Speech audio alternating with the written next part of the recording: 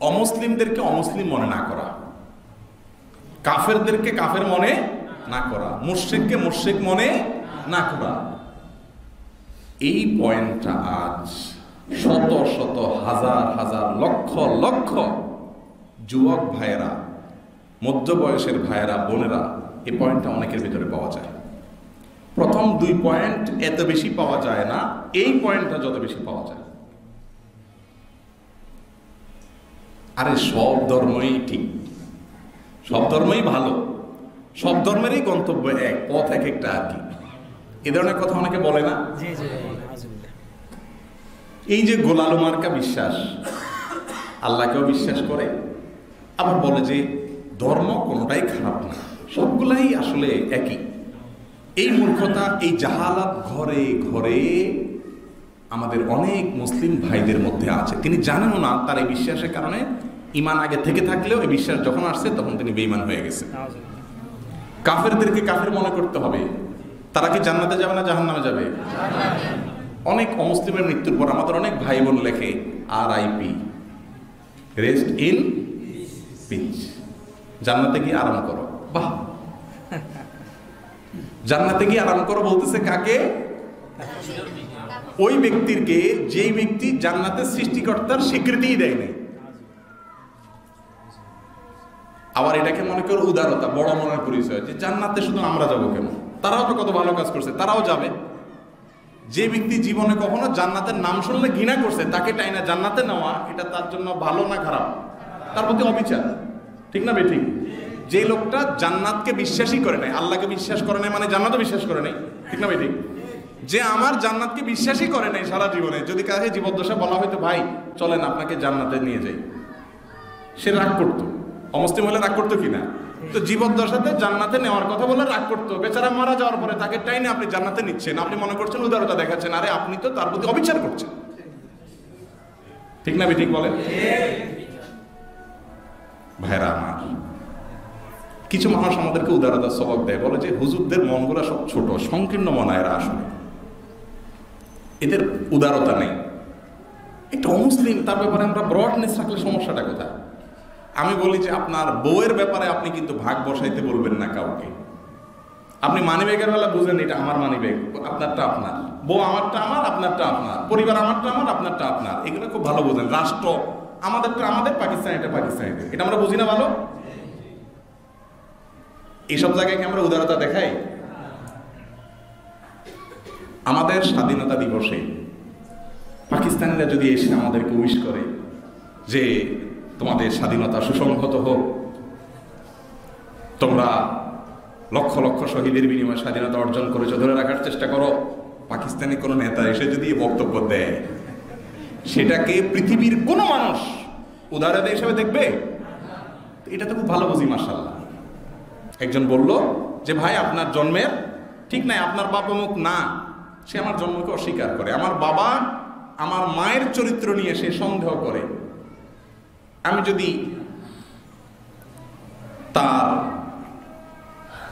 মৃত্যুর পর বলি যে, মা, অমুক লোকটা মারা গেছে, তোমার বেডরুমে থাকে আমি নিয়ে যেতে চাই। এটা কি উদারতা হবে? নাকি মা সম্পর্কে সন্তান, কুলঙ্গার সন্তানের উদাসীনতা হবে? উদাসীনতা হবে না?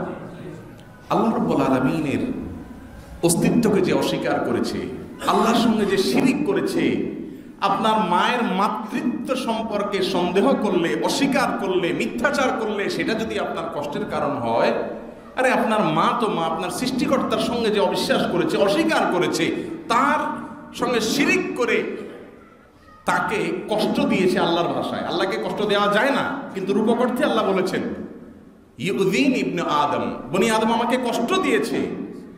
আপনার মাকে অপমান করেছে, মার মনে কষ্ট দিয়েছে, মার মাতৃত্ব নিয়ে কথা তুলেছে, আপনার বাবার পিতৃত্ব নিয়ে কথা তুলেছে, আপনার চরিত্র নিয়ে কথা তুলেছে, আপনার মায়ের চরিত্র নিয়ে কথা তুলেছে, আপনার কিন্তু তার প্রতি কখনো উদারতা আসবে না। তার অবস্থান সে থাকবে, আপনার অবস্থানে আপনি থাকবেন আইন হাতে তুলে নেবেন না, এতটুকু হতে পারে। কিন্তু তাই বলে আপনি তার সঙ্গে মাখামাখি করতে যেতে পারেন না। ধর্মের বেলায় আসলে আমাদের উদারতা গদ করে। ঠিক না বে, ঠিক? তো এটা ইমান ভঙ্গের কারণ, ভাইরা আমার। এটা উদারতা নয়, এটা উদাসীনতা। এটা উদাসীনতা, এটা দেউলিয়াপনা, এটা আপনার বিশ্বাসের ব্যাপারে আপনার কনফিডেন্টের অভাব। আপনি নামধারী মুসলিম, আপনি আল্লাহর খাতে মুসলিম হতে পারবেন না। অমুসলিম ভাই বোন যারা আছেন, তাদের প্রতি সদাচরণ করা, তাদেরকে যথাযথভাবে মর্যাদা দেওয়া, সামাজিকভাবে তাদের সঙ্গে সহাবস্থান করার নির্দেশ আল্লাহ তালা করেছেন সুরে হুজরাতের মধ্যে।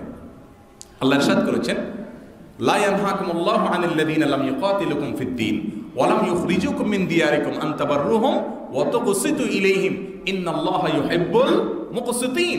আল্লাহ তোমাদেরকে নিষেধ করেন না অন্য ধর্মের মানুষ অমুসলিমদের সাথে সদাচরণ করতে। আল্লাহ নিষেধ করেন না, বরং সদাচরণকারীকে আল্লাহ তালা ভালোবাসেন। যদি তারা তোমাকে তোমার দেশ থেকে বের করে না দেয়, ধর্মযুদ্ধ তোমাদের উপরে চাপিয়ে না দেয়, শান্তিপূর্ণ সহাবস্থান করে, তাহলে তাদের সাথে দুরাচরণ না করে ভালো আচরণ করতে আল্লাহ কি করেন না নিষেধ করেন না। আমার আচ্ছা তাহলে এখান থেকে পরিষ্কারভাবে বোঝা গেল যে অন্য ধর্মের মানুষের প্রতি আমাদের উদারতা থাকবে কিন্তু সেই উদারতার একটা সীমানা থাকতে হবে। থাকতে হবে কি হবে না বলেন? উদারতার একটা সীমানা থাকতে হবে। আমার বিশ্বাসের সঙ্গে তার বিশ্বাস যখন যায় না আমি তার জন্য যদি দোয়া করি, যারা রেস্ট ইন পিচ লেখেন, তারা দোয়া কার কাছে, মুসলমান দোয়া কার কাছে করবে? শুধু আল্লাহর কাছে। তো আল্লাহর কাছে যদি বলে, আল্লাহ, আপনাকে যে অবিশ্বাস করেছে, আপনার সঙ্গে যে শিরিক করেছে, তাকে আপনি আপনার জান্নাতে দিয়ে দেন। তাহলে এটা আল্লাহর কাছে, এটা চাওয়া আর ও মায়ের চরিত্র নিয়ে সন্দেহ করা মানুষটার ব্যাপারে মায়ের কাছে কোনো আর্গুমেন্ট করা। দুটার মধ্যে কোনো বেশ কম? নাই। আল্লাহ রব্বুল আলমিন আমাদের ইমানগুলোকে হেফাজত করার তৌফিক দান করুন। আমাদের অনেক ভাই বোন আছেন তথাকথিত উদারতা করতে গিয়ে এই কথাগুলো বলেন। সব ধর্মই ঠিক সবই এক জায়গায় যাবে। এগুলো আমাদের বলার কোনো সুযোগ নেই। ইন্নাদ দিন আইন্দাল্লাহিল ইসলাম। আল্লাহর কাছে একমাত্র মনোনীত দিন হলো ইসলাম। আর ইসলাম ছাড়া অন্য কোনো দিন যদি আল্লাহর কাছে নিয়ে হাজির হয় ফেলাই নিয়কবালা মিন তার থেকে সেটা গ্রহণ করা হবে না। আল্লাহ রব্বুল আলমিন আমাদেরকে অমুসলিম ভাইদের প্রতি তাদের মর্যাদা, তাদের প্রতি দায়িত্ববোধ, যেগুলো ইসলাম আমাদেরকে দিতে বলেছে, সেগুলো দেওয়ার পাশাপাশি তাদের ব্যাপারে আমাদের ধারণাকে পরিষ্কার করার তৌফিক নসিব করুন।